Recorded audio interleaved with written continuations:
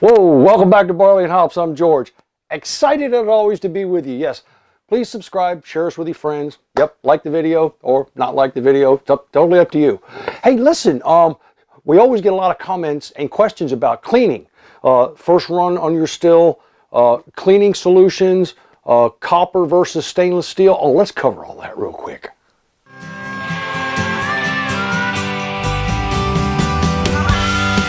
Now that you've had a chance to think about it, and I know you've got some questions, uh, let's see if we can't answer those in just a few short minutes.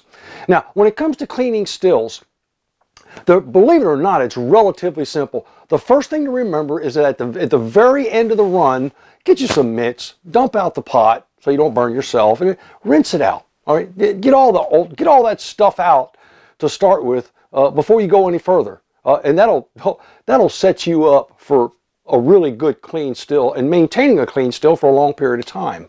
Uh, but it doesn't negate the necessity for washing the thing.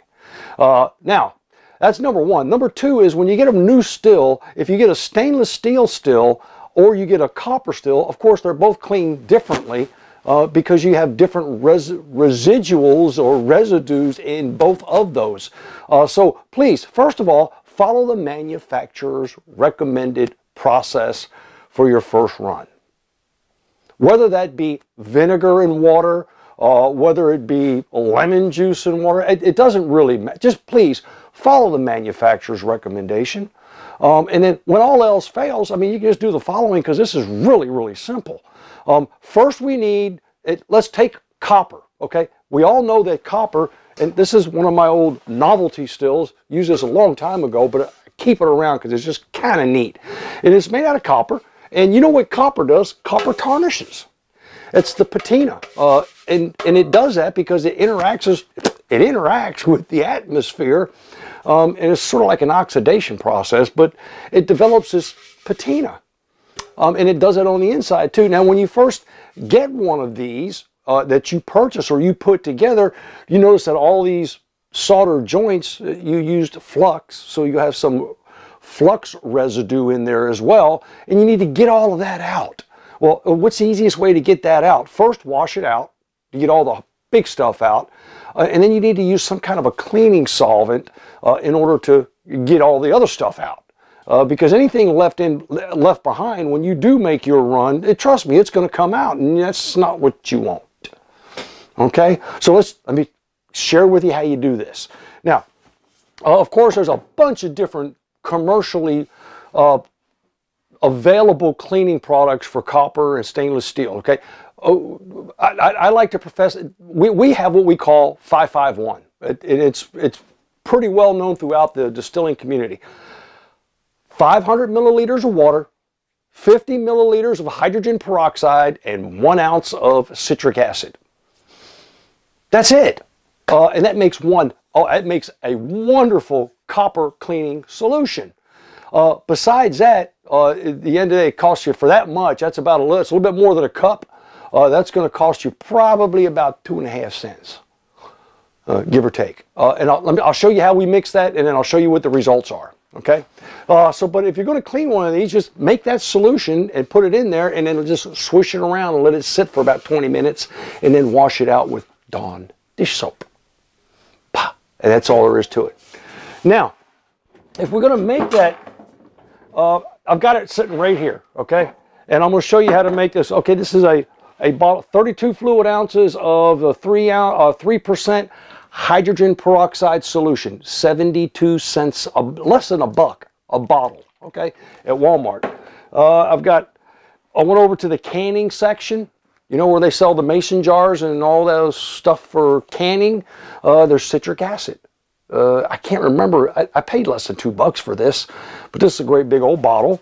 Uh, yes, and uh, oh hell, I got I got some water, and water is relatively cheap too. So let's mix this real quick, and I'll show you what we got. So it takes 500 milliliters. There we go. 500 milliliters is a little bit more than a pint. Okay, a little bit more. It's like 17 ounces or so of water and you pour that in here and then I've got a graduated cylinder That's the 500.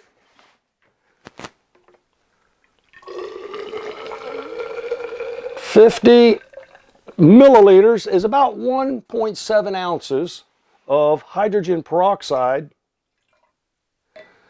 and one ounce of citric acid. Where's my, it's right here, there it is. One ounce of citric acid, uh, you can get it out of there, I got it in a little baggie too, is about one and a half tablespoons. Now there's a tablespoon, one. For those of you who've used citric acid to drop the pH in your mash, um, you're probably th thinking right now, wow, that's got to be a really, really low pH. That's exactly what it does. It drops the pH all the way, it, it really drops it dramatically. Um, then I'll put the lid on,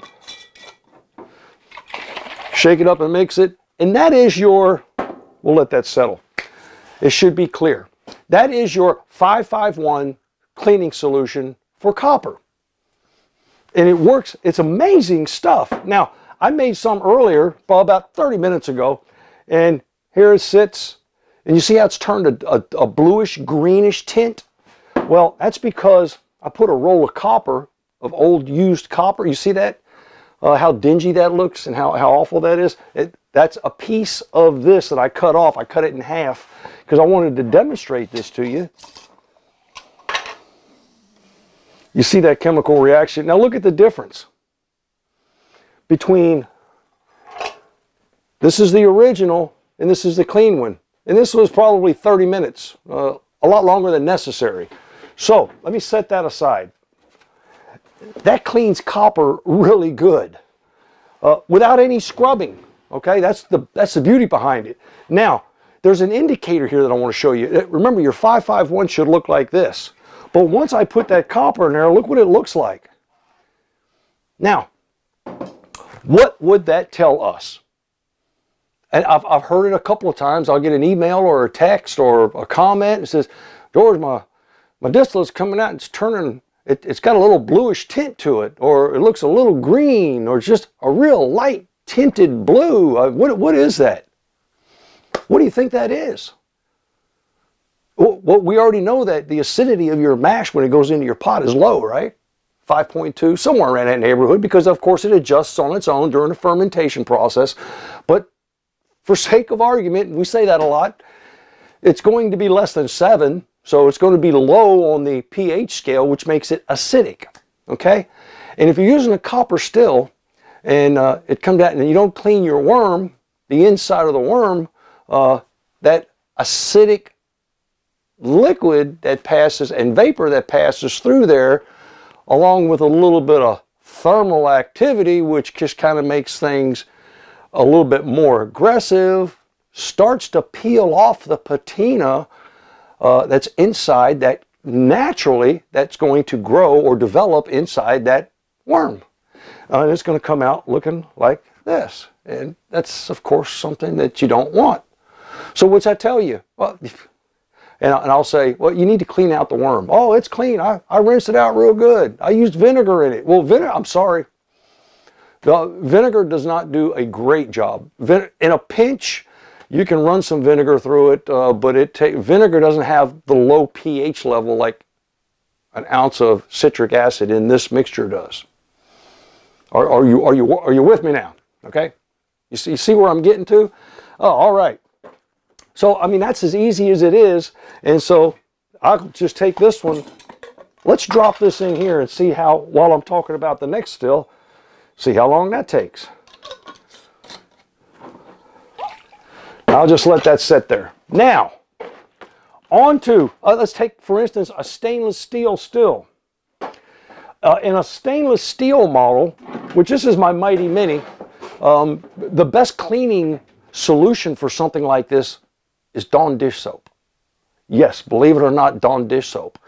Uh, once they TIG weld these, there, there is no flux there uh, left over, the residual flux, but it does need a little bit of cleaning, so you just wash it out with a soft cloth and some Dawn dish soap. Wash that out. Same thing with the lid and then the column. Now, I use Dawn dish soap in the column. Look, look how clean that column is. And this still, this particular still is oh, four or five years old. Um, and the way I clean this is relatively simple. Yeah, this may look familiar. This is that carboy brush. You know, the one that goes in and you, you twist it around and get the upper, yeah, this is a carboy brush.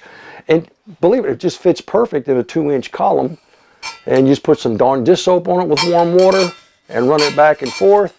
And that kind of does the job. Rinse it out. Now, that leaves us with the condenser. Um, well, you, you don't build up any patina or anything inside the condenser, but you, you can get crud and stuff just kind of builds up in there that you just don't want in there. So how do you get that out? Because that's a small tube. Well, what I did is I cut off a piece of that copper mesh. And I just put it on the end of a piece of wire, a straight wire. Uh, put some Dawn dish soap and warm water in here just to wet it. Run. This is just like, if those of you are familiar with cleaning a shotgun, it's the same way we, a, a lot of times, same way we clean a shotgun. And you bring that all the way down there and then just pull it through. And that'll clean out the inside of your condenser. Those are my tips for you. You can see already how clean that has become. And that's it's been sitting here that period of time that I have been discussing this with you. Believe me, 551, 500 milliliters of water, 50 milliliters of hydrogen peroxide, and one ounce of citric acid. And if you want to make more, just double it and make two of these. Or just do the math. Simple. Dirt cheap. And as always, yep, happy distilling.